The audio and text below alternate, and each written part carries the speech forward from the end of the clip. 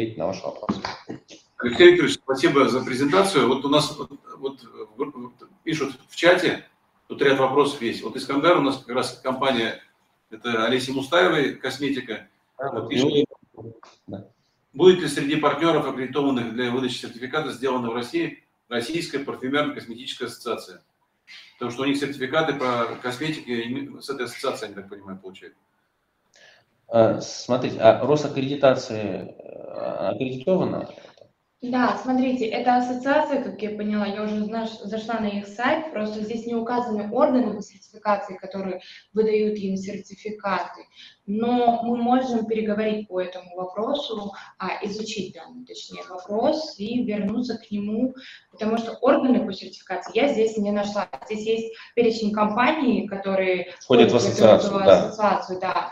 Но я вижу даже здесь компании, которые известны мне. Они у нас также получали сертификаты, сделанные в России, но на основании протоколов испытаний от лабораторий, которые а, признаны международными, ИЛАК, ИЛАКовские лаборатории, их на территории Российской Федерации более 100, поэтому если а, у вас есть протокол испытаний, поэтому можете направить нам на проверку, и мы дадим вам вопрос. А по поводу ассоциации мы переговорим да, и посмотрим. Если есть орган сертифицирующий, то, конечно, да, не вопрос.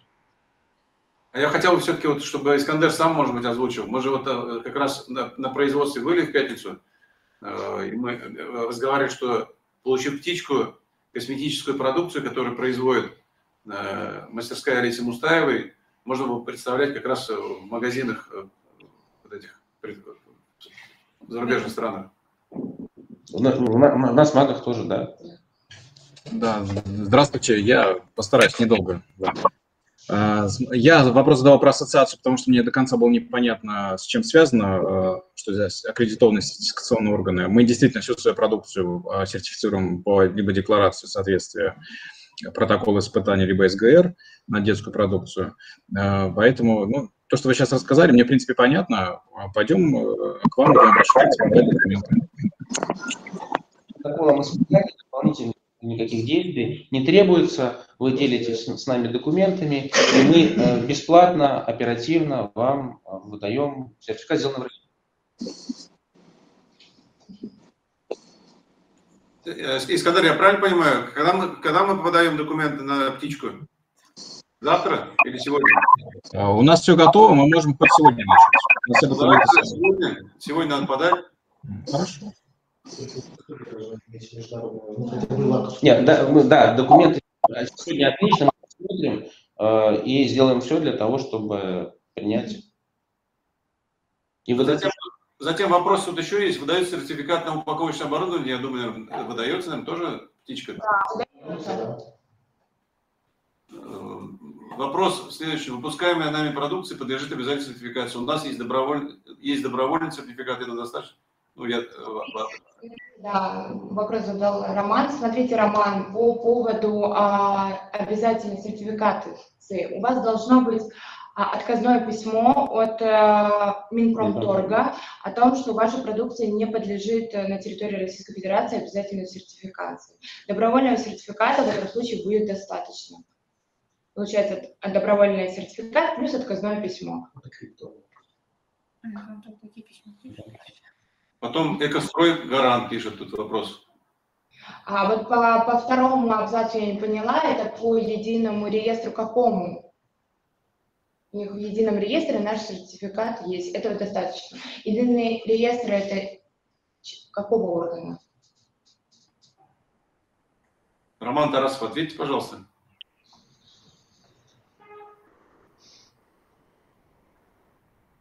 Ну, видимо, или отключился, или звук не может включить. Ну, не обязательно сейчас, то есть даже после завершения. У нас контакты есть, презентация есть. Пожалуйста, как, как будет удобно, связывайтесь с нами, мы... Потом вопрос «Экостройгарант». Вопрос. Для экспорта премиального кедра дома комплекты программа «Сделана в России» подходит? А, да, это у вас должен быть сертификат от лесной отрасли, либо от лесного эталона, либо есть еще лесной сертификат э, от Института стандартизации.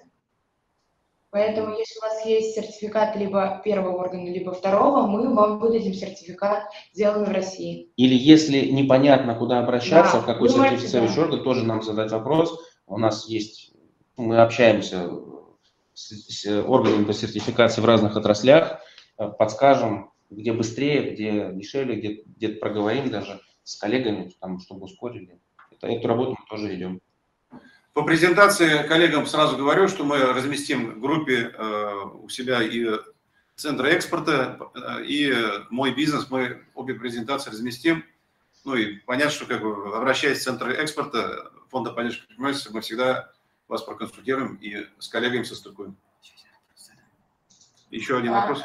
О, Коллеги, подскажите, пожалуйста, у нас есть компании, которые занимаются не производством товаров именно, а предоставляют услуги. На услуги у них сертификация тоже, ну, участие есть. Может ли в программе такой предприниматель участвовать? Да, у нас э, программа, сделанная в России, предусматривает не только продукцию, но и услуги. Поэтому если у них есть э, добровольные сертификации также на услуги, также могут предоставить и пройти.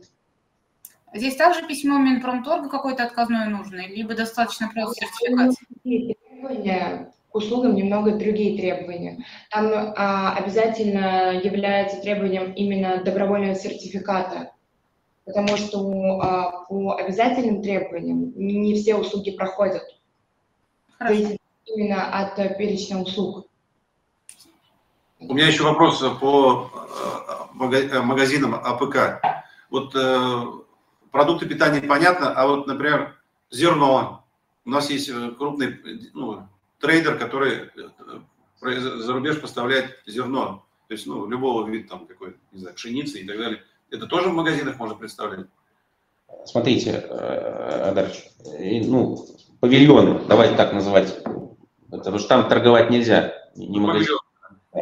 Значит, можно, надо смотреть, ну, зерно у нас э, там можно. Э, А? Нужно смотреть. Ну, там, да, разные коды, но, но у нас прецедент есть. Единственное, нужно понимать э, в павильоне, как э, выставлять. Ну, то есть, условно, э, это какая-нибудь колбочка там, допустим, с, Да, может быть. с, образц- с образцом, ну, допустим, за- запечатанная так, чтобы там не портилось, Мгм. вот там вакуумный или, или еще. То есть, вот мы выставили вот как образец э, зерна, а дальше, если кто-то заинтересовался этой продукцией, дальше связывает, оператор наш связывает, э, значит, э, производителя и э, потенциального байера, и все, и дальше уже идет контракт, в том числе и на, ну, мы же понимаем, что зерно это там, на- насыпь это не, не, не расфасованная продукция, но через вот э, такой образец в павильоне можно это тоже делать. Не запрещено. Понятно. И ну, понятно, что там это заморозка, продукты м- мясо там и так далее. Потому что В павильонах условия созданы для глубокой заморозки в том числе, поэтому вот это не проблема. Э, Ну, э, с- сложности бывают с доставкой такого, э, такой продукции, но тоже наши операторы знают, как это делать через реф-контейнеры, поэтому это тоже не является стоп-фактором. Потому что мы с вами на промышленной площадке были в пятницу, там как раз есть производители, которые ну, ори- ориентируются как раз на Саудовскую Аравию, то есть они планируют туда выходить, в любом случае, э, это как раз они, э, ну, мусульмане, запустили производство мясных полуфабрикатов, сертификаты халяли у них все есть. Я думаю, что вот с ними надо тоже поговорить, возможно, они будут свою продукцию представлять.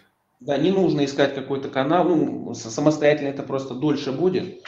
У нас наш оператор уже там э, знает рынки и с Мираторгом работает в части мяс- мясной продукции, и продукция Мираторга уже там э, представлена, и она востребована, мясная продукция, в принципе, в, в КСА. Э, уже там они с местными шейхами, от кого зависит решение, пообщались. Ну, то есть есть уже выстроенный э, канал, который позволит без лишних усилий вы- вывести свою продукцию. в САД. Коллеги, вопросы у кого-то какие-то есть? Потому что для меня все понятно, как мы двигаемся дальше. Там Тарасов написал. Тарасов написал в реестре системы добровольной сертификации ПЭ. Это э, Росстандарт, наверное, система добровольной сертификации. Это не орган. А системы добровольной сертификации бывают разные. Сделано в России тоже является системой, но а, в системе бывают органы по сертификации, которые либо имеют аккредитацию Рос, на сайте Роскредитации, либо не имеют. Поэтому здесь важным критерием является, какой орган именно в системе добровольной сертификации выдал вам а, сертификат добровольный. Поэтому, если, Роман, у вас будут э, дополнительные вопросы, можете написать мне на почту, скинуть сертификаты, я их проверю. И, под, и подскажем, Да, по как дальнейшим можно, да, по действиям. Тогда я предлагаю завершать. И большое спасибо, Алексей Викторович, э, коллеги, за э, презентации, за, за понятную информацию, которую мы сейчас тоже э, будем давать до предпринимателей Татарстана. Ну и надеюсь, что как можно больше предпринимателей э, Республики Татарстан зайдет на эти услуги и будет свою продукцию продавать. Вам огромное спасибо за вовлеченность, за небезразличие. Э, Вот побольше бы людей, которые бы воспринимали эти задачки э, регионального масштаба как свои собственные, личные. Спасибо вам огромное, спасибо коллегам, кто сегодня был с нами. Мы готовы продолжать работу. Вот, и надеюсь, что через какое-то время придем к хорошему результату, который не стыдно будет показать и главе республики. Да. Спасибо большое. Всего доброго. Да, спасибо, до свидания.